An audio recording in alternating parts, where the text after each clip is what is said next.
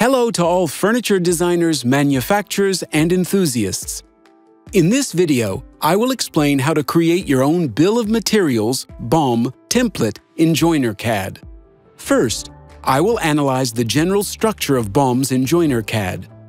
So, I run the BOM generator. At the bottom of the opened BOM dialog window, we can see where BOM templates that come along with JoinerCAD installation are stored.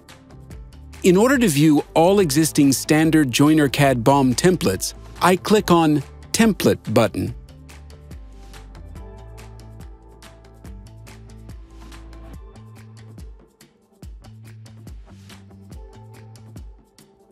In order to view the structure of the selected template, I click the template location path at the bottom of the BOM dialog window to open the selected template.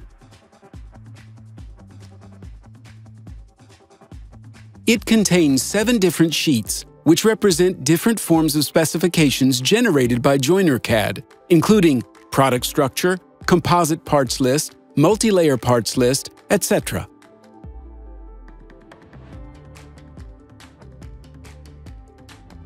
For a more detailed look, let us go back to Product Structure Sheet. For all tables to be included in the interpretation, a1 cell must have a keyword denoting the type of specification, BOM, to be generated. In this case, it is BOM structure list. All tables begin with the table start keyword, table start. Meanwhile, data entries begin with the row marked with keyword table data description. Data entries in the table are ended with keyword table last row borders, and the table itself ends with table end. Now let's take a look at Complete Parts List sheet, where the table begins with keyword BOM Parts List. In order to generate a table of specific material group, the keyword specifying the data to be contained in the table has to be used. In this case, we use the keyword Table Start Solid. The header of the table is created using keyword Table Header. Finally, the same keywords as before are used for table data output and table end.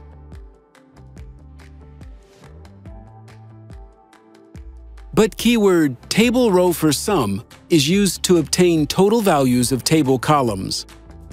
This is how JoinerCAD templates, their sheets, and keywords look like. They are used to obtain certain information about the designed product.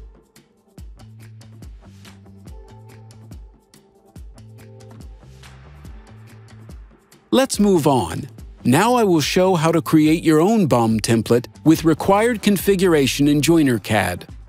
I begin by opening two Microsoft Excel files.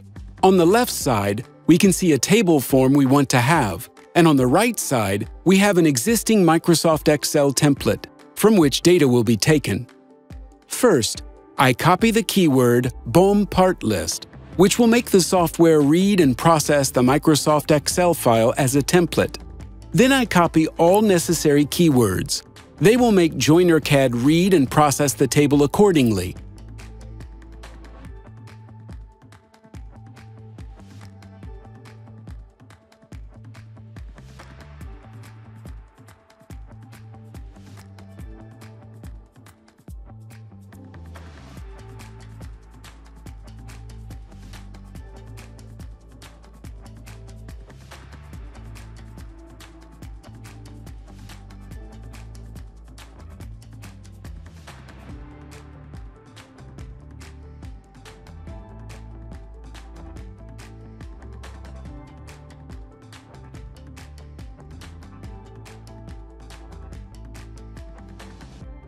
Now I have to enter the keywords, which will be used for interpreting the data in the table.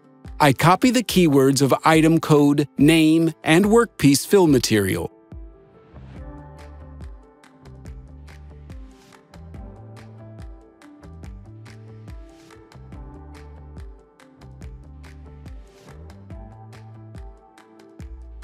So, you can see the main keywords that show or expose the name, code, and material of the part.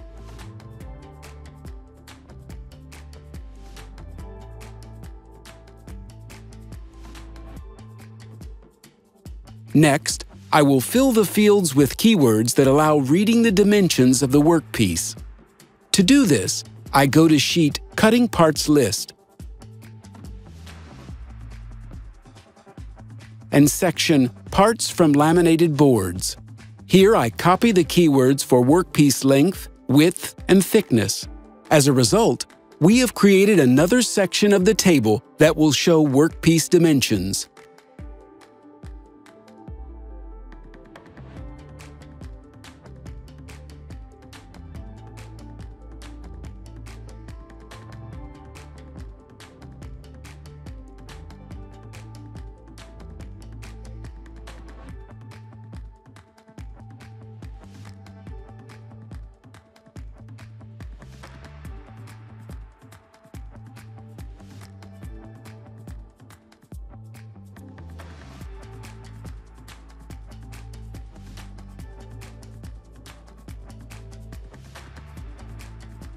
Next, I will fill in edgeband fields.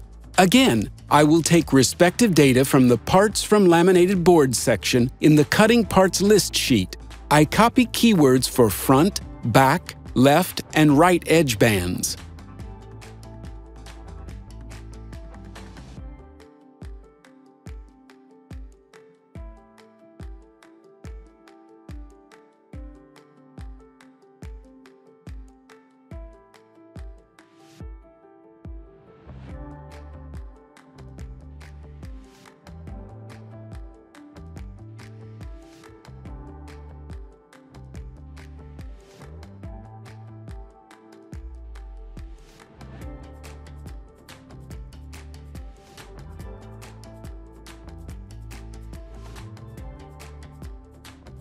I check whether the edge band data table is completed correctly.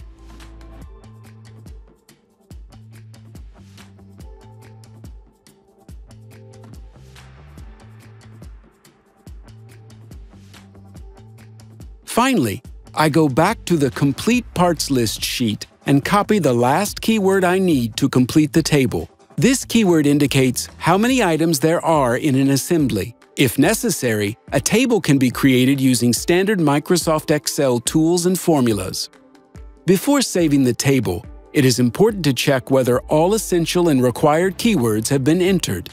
The table will be saved in the standard location of JoinerCAD BOM templates.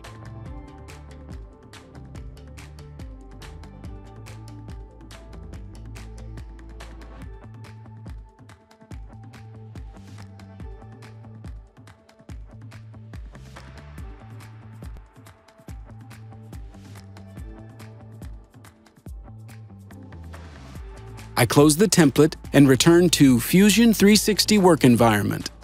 Now we proceed as usual. Open the model of a piece of furniture and generate a BOM using the newly created template.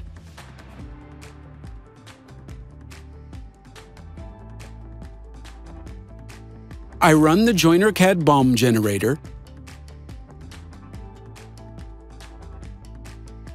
I select the custom BOM template that I have just created.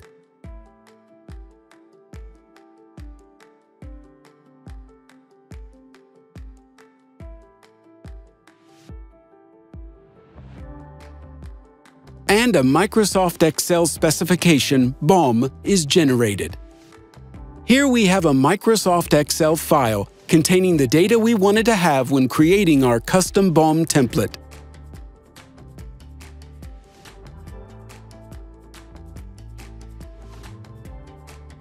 It's done. Good luck!